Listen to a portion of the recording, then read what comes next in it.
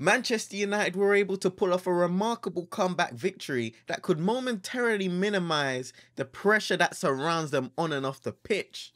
As for the 3 2 victory against Nottingham Forest, the United Twins need to speak about it.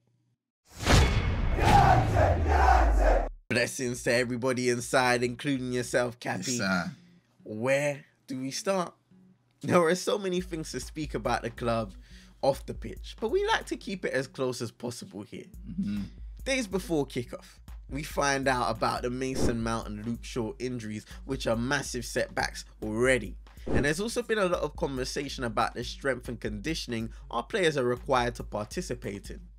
Looking at the pre-season and the weird structuring of games, constant traveling, that wouldn't help. And obviously, just seeing the first three fixtures, you can tell that the team are not as sharp as you would hope to start the campaign. Mm -mm.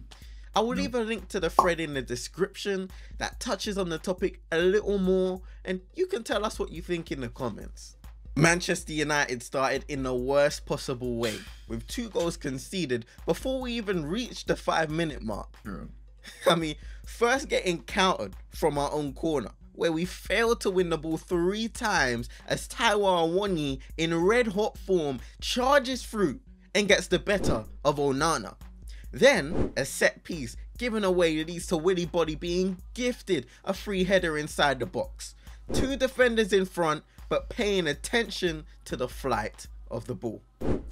At that point, you look at your TV screen or on the pitch and just think, from there, it's only going to get worse. The saving grace may have been the time at which we conceded. Nottingham Forest instantly went into protection mode, not applying any pressure on our players, dropping back and allowing the team to dominate possession. Some would say it's a smart strategy, as in the past we have really struggled in those scenarios, but thankfully those demons wouldn't come to rear their ugly heads. I think a massive difference that was noticed and appreciated, by me at least, was Marcus Rashford being back out on the left hand side. Therefore. On numerous occasions, he looked to take on his defender and that led to our most successful moments, including Christian Eriksen getting us back in the game. Marcus dribbled towards the byline, left-footed cross with pace across the ground as the Dane flicks the ball into the net. Just what we needed and just what the crowd needed as well. Casemiro also had an excellent chance to equalise a little less than 10 minutes after, but somehow ended up missing the header, which was right in front of goal by the way. Tried to be a little too precise perhaps with the header, but even then, it was a pretty bad miss. With us in control of the game, that didn't mean on occasion Forest wouldn't ask questions of our defence. The theme of our midfield open to exploitation has continued and as they countered through that or utilised the long ball, players like Morgan Gibbs White and Serge Aurier were key orchestrators. They couldn't execute in the moments after to be fair our defenders, they did a job when it came to last ditch tackles and clearances. Our equaliser in the second half was extremely well worked off the training ground and included three crucial components. Bruno, starting off with a free kick, swings the ball into Rashford, and at this moment, you see the Forest defense kind of all starting to step up as Fernandes's movement off ball is superb, oh. faking a run in behind Brennan Johnson. And as he slightly shifts to the left, acceleration, lovely clipped in pass by Marcus and a header towards the back post finds our Brazilian defensive master who makes amends for that first half shocker. Just about. Smiles all round.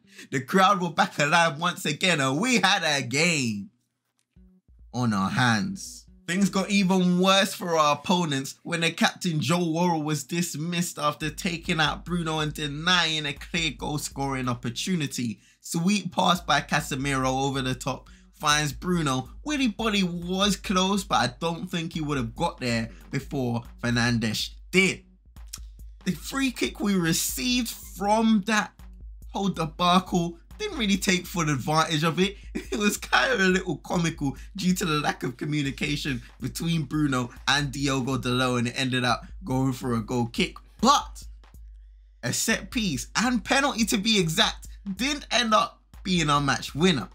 Slightly controversial for some, as Rashford once again being direct, taking on Danilo, and as there was a little contact on the knee, he goes down and wins his team a spot kick in which El Capitano stepped up and converted. Comeback officially complete. Did you think that Danilo's challenge was a foul? Let us know in the comments.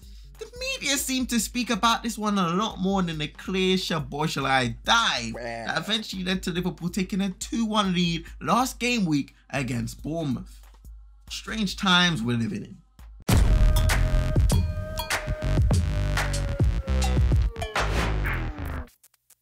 This 22's view segment is all about you, rhyming on the beat. But anyway, on Twitter, the YouTube community tab, we've asked you to have your say about the game. And the same will be said about news we're going to be covering in the next few United Twins episodes. So look out for that. CM22ENT on Twitter and the YouTube community tab. Subscribe if you're new. Without a further ado, let's see some comments. Big up Surrealist United over on Twitter, saying was not the best performance from us, but the fact that we came back from that early sucker punch is somewhat of a positive. And definitely you can see Erik Ten Hag after the game, he spoke about the character and, and the personality and perseverance it takes to come back from this. And we've seen this team under Erik Ten Hag specifically come back from those situations. It's just not great that we got there in the first place. So maybe that part needs to be improved. Hopefully it can be improved and, and eradicated from our game. For the most part, it does happen at times, but we shouldn't be starting games this poorly. Because if we don't start a game this poorly, we don't go 2-0 down. Shout out to Paxton once again saying one, good comeback win. Two, the tactic is still a work in progress and many fans don't want it implemented really. Three, we had to get a pen, otherwise we would have drew the game. Four, striker situation needs looking at in detail. Two things I want to focus on. The second point, the tactic is still a work in progress. 100% agree with that. And even to this point, we still don't have, I would say, the personnel to execute the everything that Erik Ten Hag is trying to do uh, in near perfection. And it's hard to reach that perfection level but that's just the reality of it. So as much as we want to see an improvement, and I, am still hoping that we do see a slight improvement yeah. with the current crop of players that we do have right now, the start of the season and all the circumstances that have weighed above us, it will take some time probably to get into it. And of course, the striker situation, which I may agree with Paxton in thinking it's a lot more complex because we've spoken about Rasmus Højlund potentially coming in and improving. And I do think he is going to add a little bit more in that front line, help out the wingers alongside of him.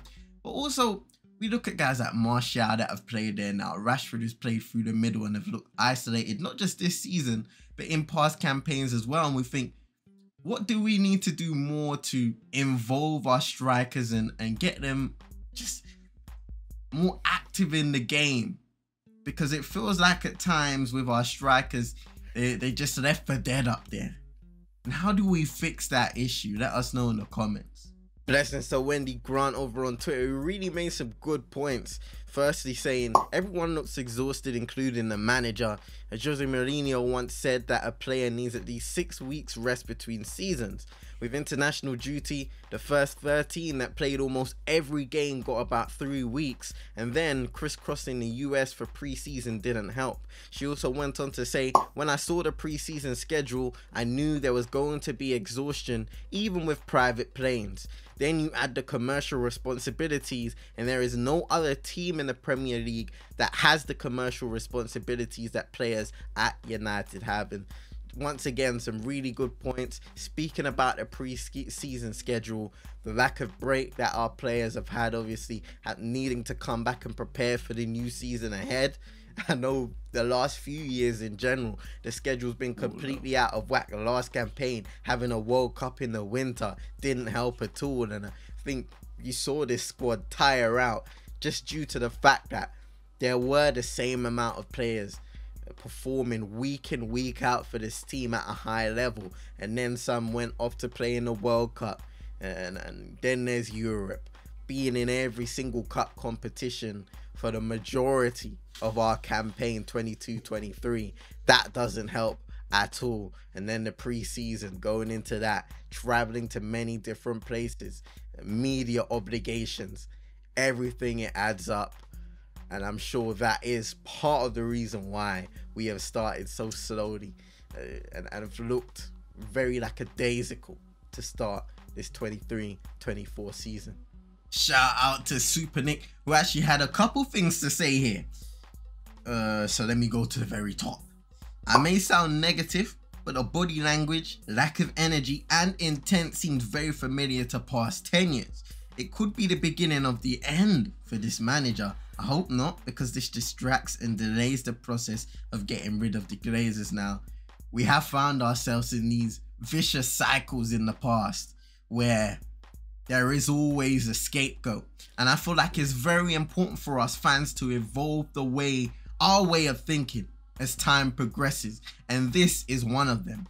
You know, the blaming of the manager, the blaming of the individual player that is apparently contributing to this entire team not being good enough. We need to look at things, uh, I would say, as a whole within the top. So that starts with the Glazers, the board, and then you have the team itself, and the team is the players, uh, the managers, the coaches. Everybody is involved in our success, in our failures, and we need to start looking at those things. Of course, you can criticize uh, little things that happen within a game, and individuals will make mistakes, but as a whole, you win and lose as a team.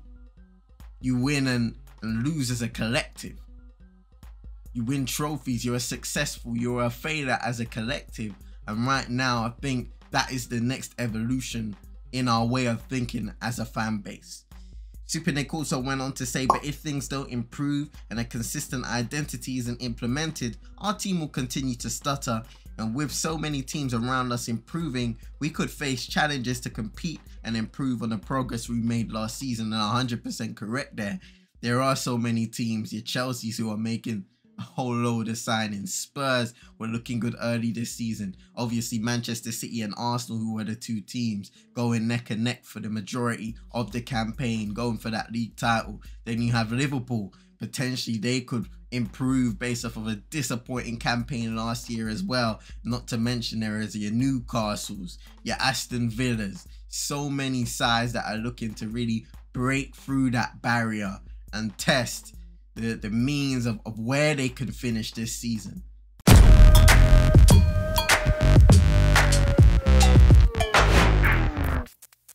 After the game, there was a protest where fans stayed for, I believe, 60 minutes or as long as they possibly could inside of Old Trafford against the Glazer ownership.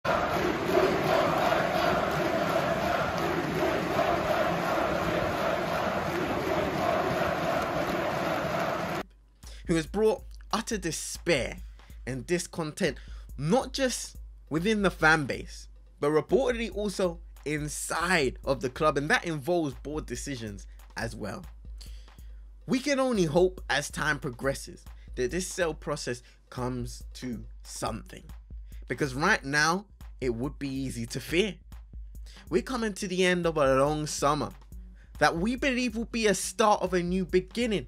But instead, their negativity still looms above the aging Old Trafford. And my question is, how long until not just the men's team, but the entire club hits rock bottom as they continue to neglect every area possible? This has gone on for far too long now, with continuous lies and alibis over the last several years alone promising more and severely underachieving in those attempts. Ladies and gentlemen, we have come to the end of this week's United Twins episode. Let us know what you thought about all the topics covered today from the match, from the 22 view segments, and also the protest. Let us know what you think in the comments. We can look ahead to the Arsenal game now with them actually dropping points against Fulham this game week. Very interesting to see what happens, how we can bounce back and start a game better, hopefully, and not be the instigators of our own issues, and how Arsenal will come into the game. Let's get some early score predictions in the comments as well. What do you think and how you think the game is going to pan out? But for now, please be sure to drop a like on the video subscribe if you're new, share to your friends and frenemies. And until the next time, we'll see you lots in.